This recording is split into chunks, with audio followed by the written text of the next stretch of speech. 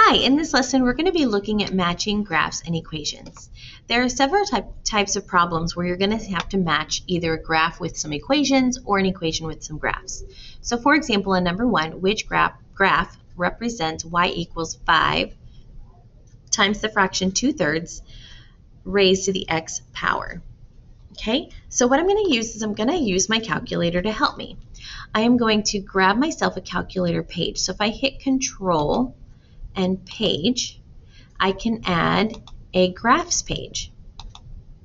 And I can type in 5 parentheses, 2 over 3,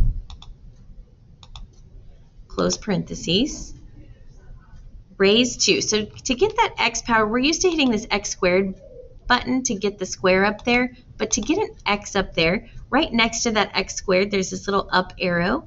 When you click on that, notice it puts a little empty box up there and you can hit X. Also, if your calculator doesn't have this grid, I'm going to show you how to add that. So first I'm just going to hit enter so I can see the graph.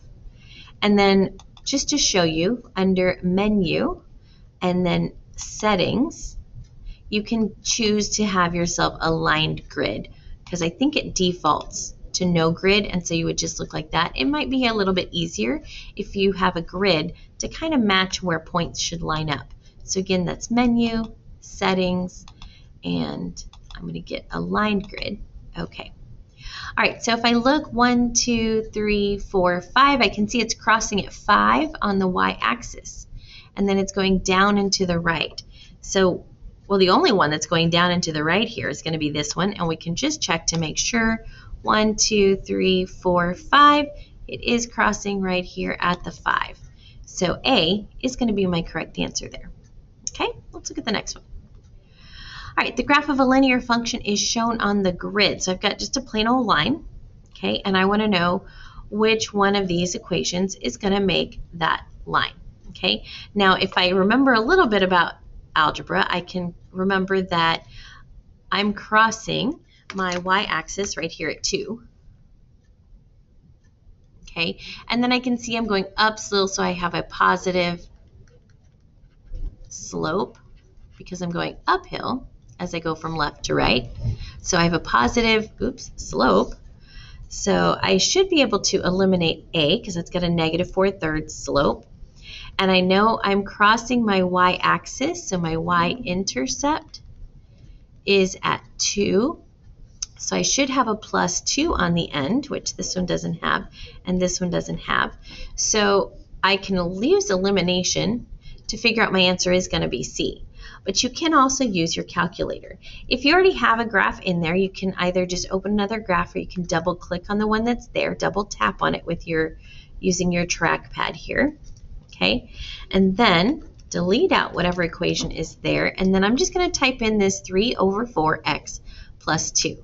So 3 over 4 is really 3 divided by 4, x plus 2 and we'll see that we get the same answer. And just to kind of check, I can see 1, 2, I'm crossing between 2 and 3 over here. 1, 2, I'm crossing between 2 and 3 over here. So they are the same graph. Number 2, the answer is C. Let's look at number 3. For number three, I have a quadratic function shown on the grid, so I notice all my answers here are x squared. I can see it's opening downward, so again, if I wanted to do like I did on the last one, and I wanted to just eliminate some things, I'm going to switch up my color here. Um, I know if it's opening downward, in front of the x squared, I have to have a negative. So I know I'm definitely not going to be C, because I'm going to be a negative. And then I can just kind of just check, type them in, and see which one matches out of the ones I haven't been able to eliminate. So that's what I'm going to do. I'm going to type in negative x squared plus 3x minus 4. So negative x squared plus 3x minus 4 is a, and I can see that does not look anything like the graph I have there. So that is not going to be my answer. Okay, so then I'm going to do the next one. Negative, oops, let me, so you would just use your trackpad to come here and then double click on there to get, or double tap because you're using your finger, to be able to get in there and then type in your new equation. So negative x minus 3x plus 4.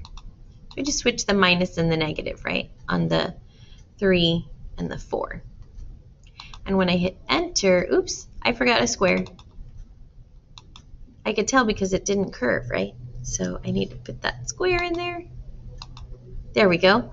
All right, so does this graph look the same? It crosses at 1, it crosses at 1, and then over here, 1, 2, 3, 4, 1, 2, 3, 4. So the x-axis, the x-intercepts are the same. 1, 2, 3, 4.